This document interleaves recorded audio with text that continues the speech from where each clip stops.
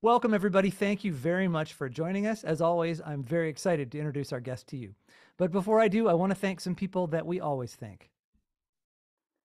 We want to thank brassandwinds.com. Brass and Winds are our friends in the music industry who offer us musical instruments whenever we need them here at Willow Music. We suggest you check them out at brassandwinds.com. Thank you for watching TruerMU. You are now in my musical mind, and I hope you enjoy it in there. Uh, and I'm going to introduce you now to a friend of mine. Well, here's a little background about my friend. Uh, we have been in two bands together over the years uh, a band called Patience Grasshopper and another band called Front Porch Session Players. I've greatly enjoyed working with him. He's also represented me in legal work. Uh, he is a lawyer. Let me tell you a little bit about him. His name is Christopher Berney. Christopher Berney is a lawyer operating in Atlanta, Georgia. He received a BA, MBA, and JD from Duke University and was admitted to the State Bar of Georgia in 1997. He focuses on working with business owners, entrepreneurs, and artists. He is also a guitarist and songwriter. Chris Berney, welcome to our show. Hey, Adam. Thanks for having me, man. It's great to be here. It's great to have you here. Um, I want to talk about you, but first, let's just talk about the law for people who are interested in how the law intersects with the arts. Sound good? Sure. Okay. Let's say, um, as a musician, you need a lawyer. Uh, sh- can anyone help you? Could you just go to any lawyer you want and just say, "Hey, can you help?" Or is there someone in particular you should be looking for? It's a good question. You know, I think that the kind of lawyer that someone is looking for, you know, everyone's going to say, "Well, it's got to be an entertainment lawyer, and only an entertainment lawyer can help you." But I think anyone that does intellectual property work would be able to help you do the kinds of things that um, you know artists need done protecting their rights copywriting their work you know in some cases uh, trademarking certain elements of their work um, in terms of the how they're presenting themselves to the to the world. Um, but copyright's really the big one. And um, you know there's there's a, a, series of releases and other documents that any intellectual property lawyer will know um, as you move up through the complexity of the agreements, you're going to want someone with entertainment law background. If for nothing else, is that they tend to have their sort of ear to the track and they know what market rate is on certain things. And you know, it's very difficult to give good legal advice if you don't have that ability. Uh, so what would you intellectual property? Uh, I, I think we hear that all the time, but is there a good definition for it? Intellectual property basically comprises of three things. It's copyright, trademark, and patent work. Patent work is generally outside the entertainment world and the artist world, unless they've created some some some device or some combination of technologies to create art. But uh, most of them are going to be dealing with copyright and trademark. And basically, we're talking about intangible rights that are capable of being protected. You know, people get confused about copyright because they say, well, um, oh, I have a copyright in this, you know, because I put the C in the circle at the bottom of my on my record, you know, on my on my on my EP on the CD, it's right there. It says C in a circle, you know, Big Boy Music or whatever the name of my publishing company is. But really, that's that's not true. To have the C in the circle denotes that you've registered your trademark with the federal government, which is a separate step and um, one that is highly encouraged because it gives the, the holder of the copyright, the owner of the copyright, improved remedies for enforcing infringement on the right. The minute you take an expression and affix it into a tangible medium, like a song on a tape or a poem on a paper or uh, paint on a canvas, you have created, you have a common law copyright. Copyright is one of the oldest um, ideas in the law, along with trademark. You have it already. It's common law. You can sue people for it without ever registering your trademark. Well, you're going to have a harder time, you know, making it a good recovery for you if you don't have a registered trademark. A registered trademark gives you, you know, triple damages in some cases, allows you to get your attorney's fees paid. There's statutory damages that you can elect as opposed to proving actual damages. So it's a much more robust suite of um, procedures and remedies that you can pursue. Oh. Um, yeah. Why is that? Why is uh, having it registered with the government going to provide you with more damages? Well, because there's statutes out there, the Lanham Act particularly, um, that and the Copyright Act that basically says, you know, if someone infringes on a copyright and that copyright's been registered with the United States Patent and Trademark Office, then you get the remedies that are available in this in this suite of statutes in this section, and that's where those stat that's where those remedies are codified. Uh, anybody that follows anything in the law in the news, for instance, as you get older and older, you come to realize that this thing we think of as children of the law is not a firm brick, but it's very fluid and uh, depends on interpretations and judges' rulings and even political uh, maneuverings. Uh, how, what in the law can we count on, and what do we really have to hope for the best with? Well, that's a big question. I don't know if I have a good answer for that. I mean, in terms of intellectual property, I mean, the copyright law has been in place for a long time. It's well established. It works. You will definitely prevail if you've got the facts on your side. You know, the, the thing about it is, it's always a question of can you collect on the on the infringement you know, it doesn't do you any good to spend months and months going after some guy in his basement who has no assets. you know, mom and dad are paying the rent, but he got a hold of your stuff and is using it all over his website. You know, I mean, you know, it's going to be hard for you to make that economically um, worthwhile, right? So, so that's kind of, you know, I think that's that's what you can count on in some ways is that you have to be able to, you know, you can count on the enforcement working for copyright infringement. You can't count on collection, which is always something that I try to talk to my clients about early on so that they, they have at least expectations in line. And sometimes we're, we're proven wrong and there are assets to collect and, and, and other times there aren't. So it's just something that to, to be taken into consideration. That is really interesting. Uh, it's not, it's an interesting point to notice that it might not be worth your while just to defend your copyright. But if you don't defend your copyright, even against the guy in the basement, are you setting a precedent that could put you in jeopardy later? It, you could. That's a great. That's a great point because you do have a duty to protect the copyright, to protect your trademark, but you can accomplish this by sending cease and desist letters. And you know, if the use is so great that they are in fact infringing on you monetarily, then you probably do need to um, pursue litigation and at least, you know, um, convince them to stop, cease and desist. If you can get some money out of them, great. At, at a, even if you don't have a resolution, as long as you're for, you know, you're, you're continually um, attacking them for for using your rights. You know, I think you can make a great case that um, that you have been, you know, that you're worthy of of the copyright registration or the trademark registration, and you should be able to to um, continue to protect and own the mark.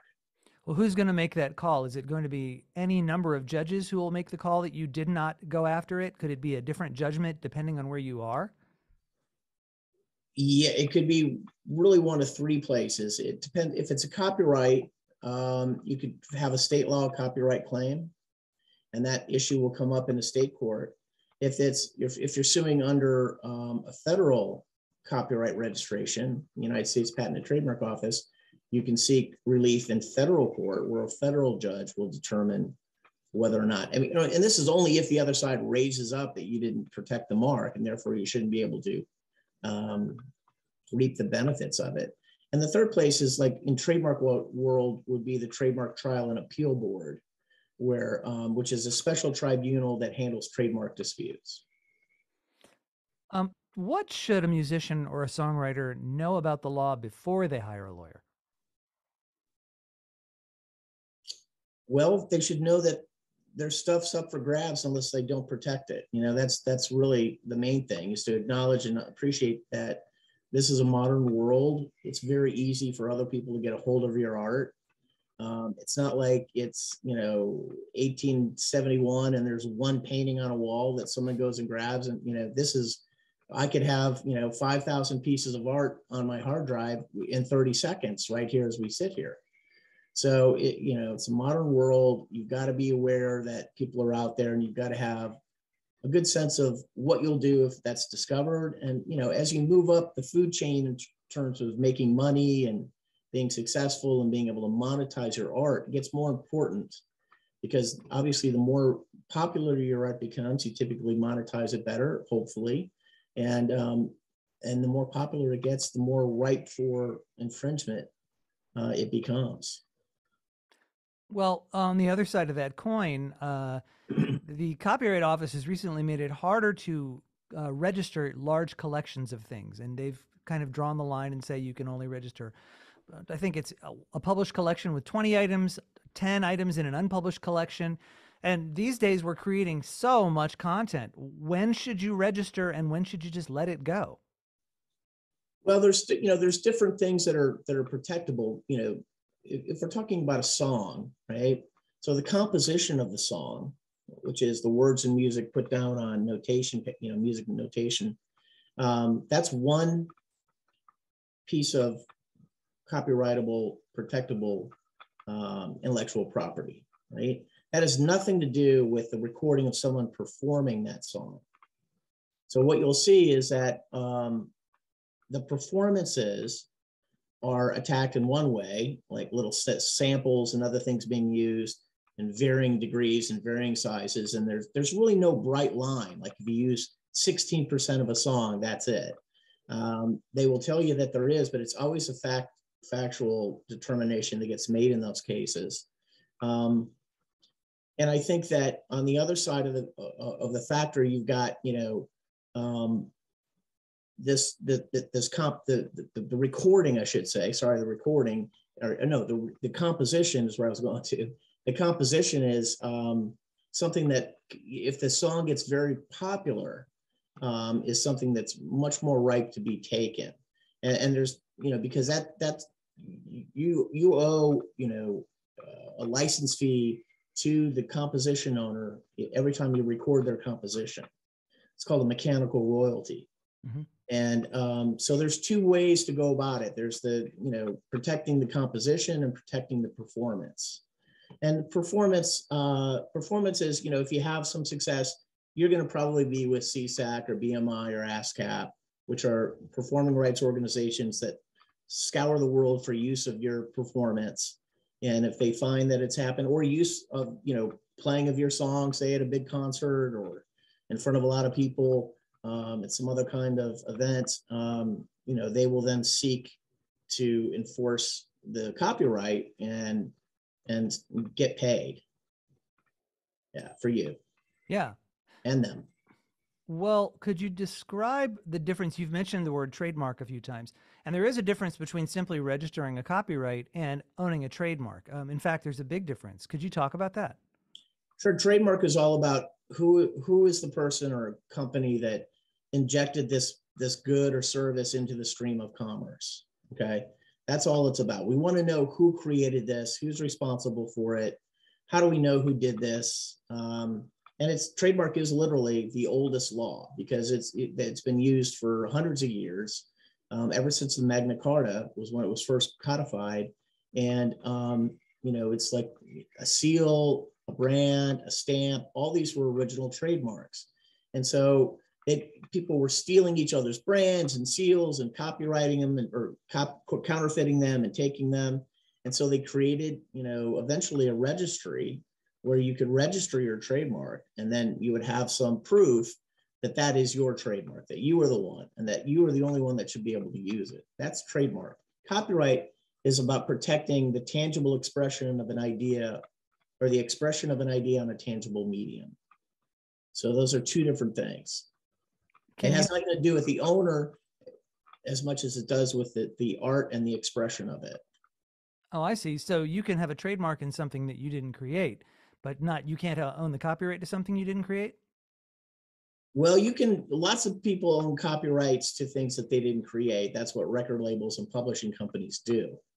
You know, um, trademark is is you know is is you telling the world, I Chris Berney, I Adam Cole, um, uh, or or injecting my injecting the services of TruerMU into the world of commerce, and I want everyone to know that it's me that does it. No one else can use TruerMU and the design of the words or just the, you know, the, the word mark, as it were, um, and protect it in that way. Um, so it's more of a branding thing. It's trademarks all about branding. I mean, that's it's the basis of all branding. Mm-hmm. And not every songwriter has a brand. Not every songwriter is out there trying to establish themselves as uh, Bill the songwriter. They're just songwriters and they want to protect their stuff. Uh, that's that's often true. Um, you know, bands will have trademark fights about the name of the band because mm-hmm. that's their trademark. And uh, you know, there's been famous cases where a band used somebody else's name from some band in Sweden, and you know, um, caused them to change their name to some degree. Oh, Fleetwood Mac is uh, a famous example. of right, right. The entire band left, and the manager had contractual obligations, so he found himself a new band called Fleetwood Mac, and he just kept touring. And there was a big court battle over that. Yeah, so that's that's kind of the difference. Yeah, well, um, I know a lot of uh, lawyer musicians um, and lawyer music fanatics. Is there um, this is more of a personal question, but is there an overlap in your mind between a study of the law and a study of music? Um, I see them as sort of, you know, for me personally, they kind of balance each other out because the law is sort of, uh, you know, militant and strict and clear oftentimes and requires great rigidity to rules to properly, you know, enforce it or defend against it. Um, whereas music or art, I'm having to be a musician, but that's there's just no boundaries. So it's a nice release to get away from you know a desk where you've got to do certain things the right way every time. And it's not because you want to do it that way, it's because somebody else is telling you to do it that way. That's not very artistic. Whereas, you know, going down in the basement to my little recording area and, you know, cranking out you know a few chords and a couple of words and a melody to go with it nobody can tell me not to do that. So those two things i think are a nice balance. Huh. So well that's creative outlet. Of course there are music situations in which somebody is telling you exactly how to do something. Yeah but i'm not getting hired for those gigs. No no.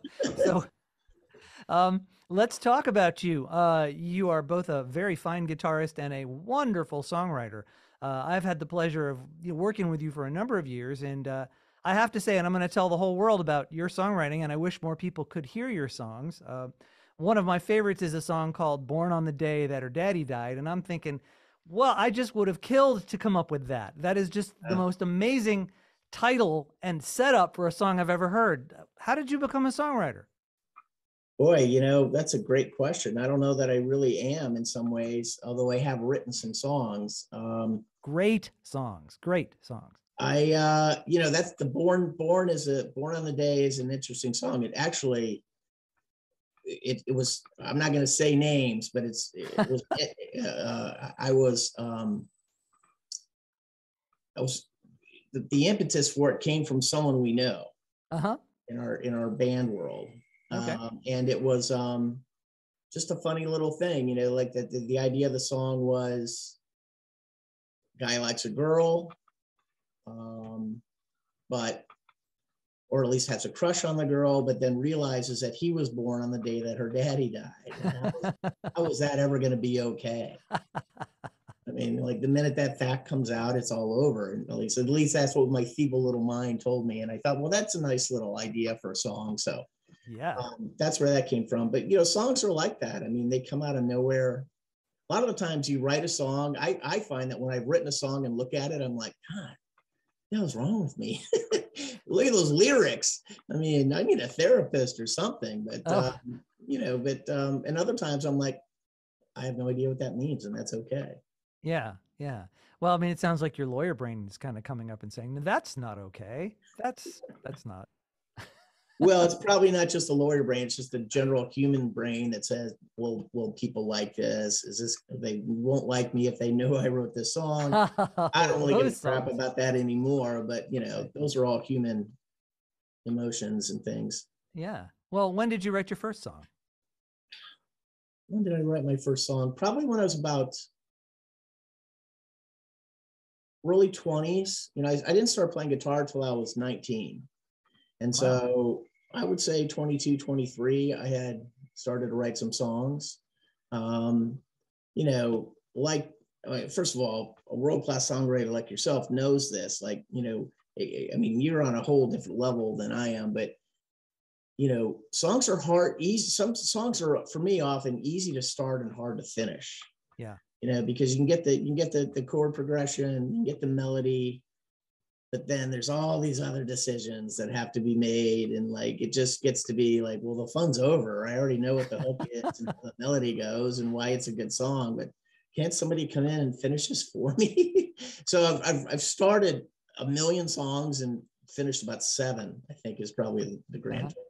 Well they're very good the ones you finished why don't you uh, collaborate and let someone help you finish those things because that's what you do when you don't want to make those decisions that's a great question i don't know i probably should do that well, I'm not going to tell you to do it, but it seems like a possible solution. You will do it. well, if you only had a lawyer to tell you you had to do it, that would take care of it. so 19 is pretty late to get started on an instrument. What got you started at, in 19? I was in my dorm. You know, I went to college, was in a dorm. Um, and the guy next to me was this kid from Chicago, this guy named Roger Horn uh, nice, great guy. And he had a little Ibanez guitar and a little tiny practice amp. And uh, one day I looked in there and he was noodling around on it and he could play a few things. And like he was into Rush. So he had some Rush licks and things like that.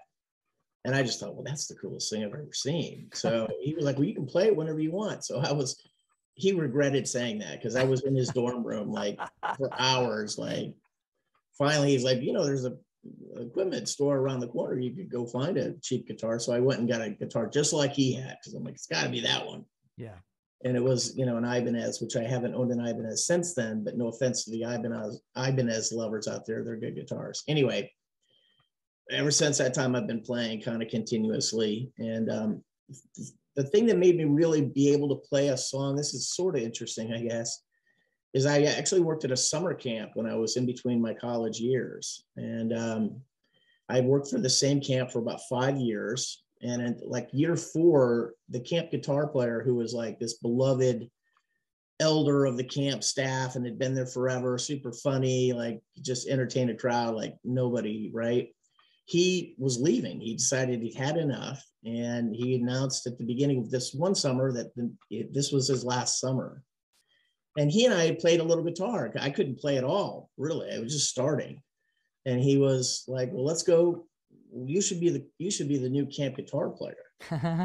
Like, you gotta be out of your mind. I gotta like learn all these songs and be able to play them in front of a ton of people and play with singers and you know, and, and not just like everybody's singing at the same time, but like one person is singing and you can't screw it up because it's just her her voice and your guitar so those were terrifying moments for me. I mean, I can remember the first time in the next summer when I did it, I was just, I mean, I spent the whole year just woodshedding on these camp songs, the, the you know, Camptown Races, all these classic old camp songs.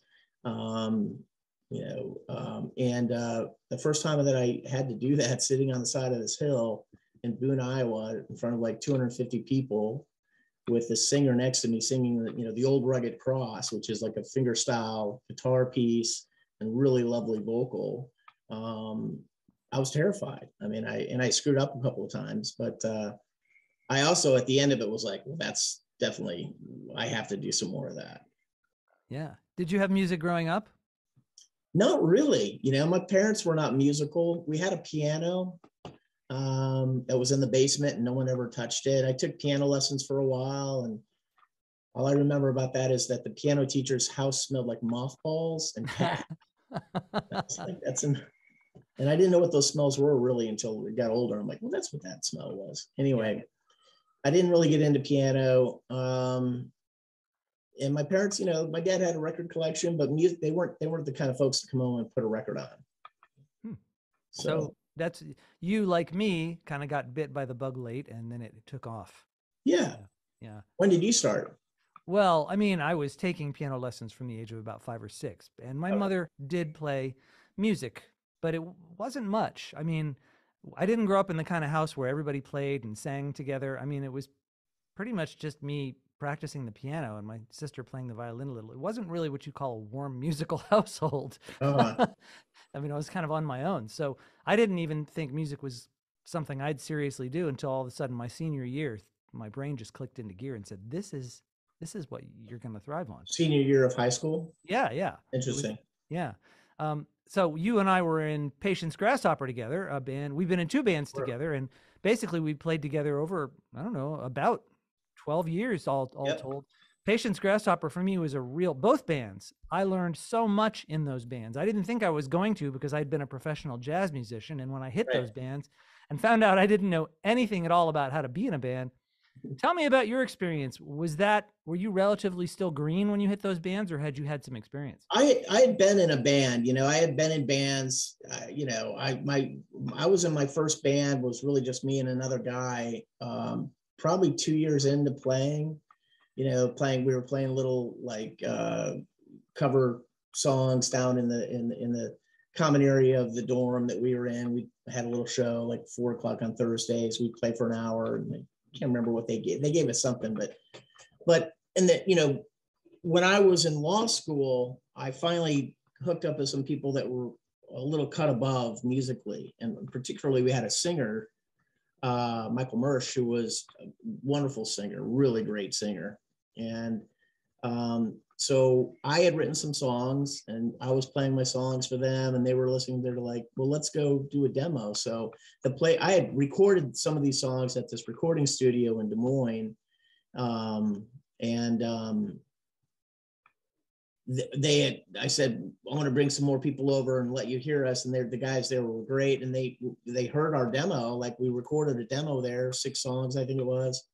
Um, and they were like we want to sign you to an independent deal. So we had a record deal that we all, we all the, the, guys in the band were all lawyers so we wrote the record contract which is the most overwritten overblown record contract you ever saw I mean, it like protected us from every possible thing that could go wrong Comet attack. imagine like five law students pouring over this thing for hours?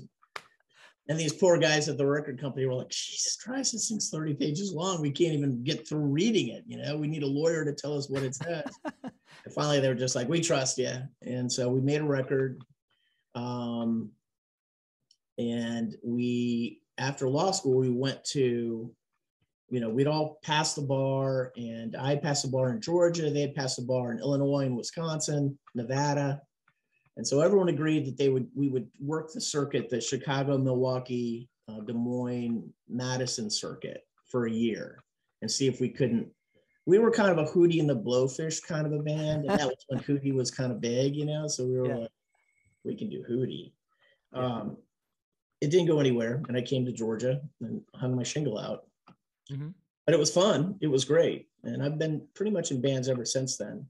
yeah, I it- well, there was a break there before before the uh the the wipes. Remember the wipes? the Wipes being the proto band before Patience Grasshopper. Yeah, same same fundra- people. fundraiser band for the preschool that we well, that's where we all met. Right, right. Yeah, this is getting deep into my history here. Yes, uh, indeed. So, as a songwriter, uh, do, are you careful about registering your copyrights, or are you like the dentist that never brushes his teeth? You know, I'm not. I should be. Um, I, I admire you because you are excellent at at the diligence uh, in terms of doing that. You know, I sort of keep telling myself that I'm going to get these all put together in one format that I like, you know, like, you know, and then I'm going to rec- just register that one work. Yeah, I like to give it to my kids just so they have something. And, and you never know. I mean, you know, anybody could write a song that somebody else likes and buys. So, you know, you got to protect it. So you're right to do it. And I'm, I am, I'm the dentist who doesn't floss. well, as good as these songs are, I do think you should compile the best of them, and I'd be happy to help you do that. Uh, appreciate that, man. I, I always love playing music with you. You always raise everybody up around you and you have such a great, uh, you know, feel for um, the right amount of sort of correction and like support, you know, and, I- and, and I say that very, you don't correct anybody. I think that's what I was impressed with. You're a professional music educator and you've got, you know, a bunch of guys that are hitting the wrong chord every fifth chord and, you know, you, you handle it very well. So we all appreciated your, uh, your niceness. Oh, and I think we understood what it was. I mean, it's not like we've been paid to be there, but still. well, thank you. I, I, you know, I mean, it was worth it to me to, well, to play with y'all. It was a lot of fun, and uh, you know, I mean, you can spend your rehearsal correcting everybody, and everybody hates you, or you can just let people be who they are as musicians and correct the things that are going to make a difference. That's right. And, and kind of where we were at that time, I think that's the only way it could work. But you know, we still, you know, I still love Wine in a Mug. One of the great songs I, I think you've written. I love that song. That song is like El Rayo X, man. You got to get that to David Lindsay somehow and let him, uh, Lindley, and have him uh, record it because it's a classic El Rayo X song. Yeah, well, that's you playing on it. So if folks go to Demo Crazy, you can hear Wine on a Mug played with me and with Mr. Chris Berney. Awesome. Yeah. Um, and I want to thank you also for the legal help you've given me as far as lawyers go. I haven't had lots of lawyers, but I can tell you I, I do appreciate how easy you make it and how clear everything is. You've always done a stellar job in that regard. Thank you. Well, thank you, man. It's been a pleasure working with you.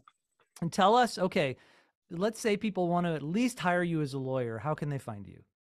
They can find me at berneylawfirm.com, B E R N E Y lawfirm.com. Um, there's a link there to contact me, and my staff will get in touch with anybody. I, I, my philosophy is I'll give anybody 15 minutes because you never know who, you know, when that perfect situation will walk through the door. And I just love talking to people about what they're trying to do. There's nothing like somebody who's riding that wave of excitement that they've been riding, usually for a couple of weeks, maybe a month before they call the lawyer and they're still riding it. And it's just really, I really love telling them that they're totally wrong and they've got to slow down and back up. No, I'm kidding. oftentimes I have to, like you in the band with us, I have to not do that because, you know, you know, it happens. People come up and they say, I've got this wonderful name for my business. It's going to be, this is the name of it. Me and my high school buddy, we, we, we hung out uh, for years. We were 20 years, we didn't see each other, but the last couple years we've gotten back together. We're forming this business. We think we're going to do this, but here's the name of the business. Don't you love it? And then, you know, 30 seconds of searching on the trademark side, like, no, that, that there's already a, a, taco restaurant named that name. So, Kool Aid. That's our yeah, business. So I don't like, I like to, you know, I try to do it in a way to like help them understand how to create a different name that can be protected and leave them on a good note. But but um, I love talking to people about their what they're excited about. I'll always love that. So I encourage your listeners to give me a call if I can help them in any way. And until the album comes out, are you sharing any of your music? Can people hear it? Um, we're on SoundCloud, but it's mostly just rehearsal cuts right now. I'd have to look. I don't have any of my stuff up currently. Okay. Uh, but maybe I'll maybe I'll do that. Maybe you'll you've inspired me.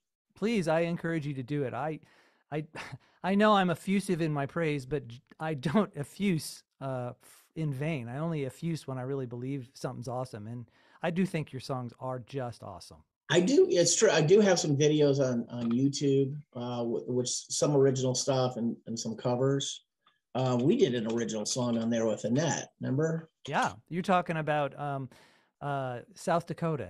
South uh, Dakota. Yeah, that's a really great that song. That was one of my I don't collaborate often. It was a really nice collaboration. I thought it was just perfect. And remember, if you recall, it was like we had to do it in like two hours or one night. Right. You know? right yeah. So like figuring it out and coming back later. So we sat there in a in a round and just worked it out right there. That was so cool. But yeah, um, let me see. It's under it's CPB ATL at which is my handle on YouTube. Okay, CPBATL on YouTube. You can actually watch us do It's Too Quiet in South Dakota. That's awesome. It's too quiet. Great. Chris Berney, thank you so much for taking the time to help us understand things about the law and about who you are. I've enjoyed it. Thank you, Adam. It's a pleasure. It's great to see you. Thank you. And it's great to see you too, audience. Thank you for joining us for yet another one of these wonderful interviews. If you like them, please like and if you want to subscribe to us, we'd love to have you join the community. There's a new interview every week, and there's other goodies on the site too. Thanks for joining us. We'll see you next time. Thanks, Adam.